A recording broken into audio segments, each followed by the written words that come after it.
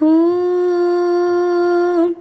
ശ്രീനാരായണ പരമഗുരവേ നമഃ.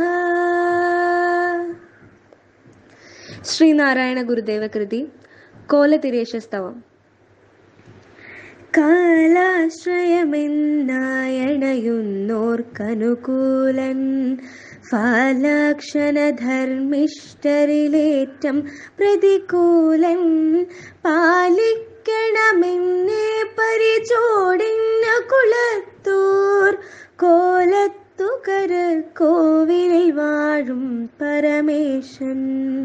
ഈ ലോകമശേഷം ക്ഷണമാത്രേണ ശ്രജിച്ചാൽ ആലോകന മാത്രേണ ഭരിക്കുന്നനുവേലം.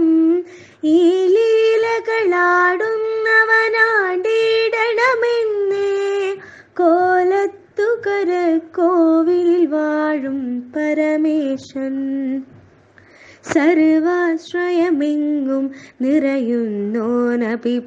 നിറയുന്നോനഭിഭക്തർക്കിവാരൊരു രൂപം ഭജനത്തിന് ധരിപ്പോൻ ആലസ്യമൊഴിച്ച പരബോധം തരണം മേ കോലത്തുകര കോവിലിൽ വാഴും പരമേശൻ.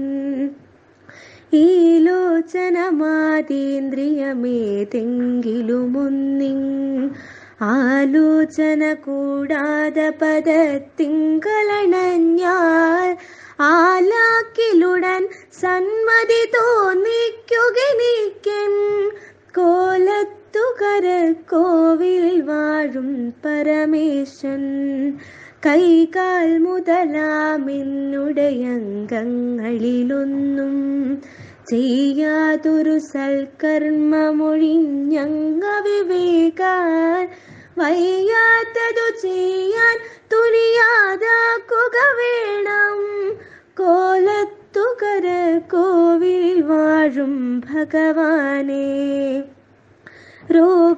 രോഗാദികളെല്ലാം ഒഴിവാക്കിയിടുക വേണം ഹേ കാമത കാമാന്തക കാരുണ്യപയോധേ ഏ കീടണമേ സൗഖ്യമെനിക്കൻപൊടു ശംഭോ.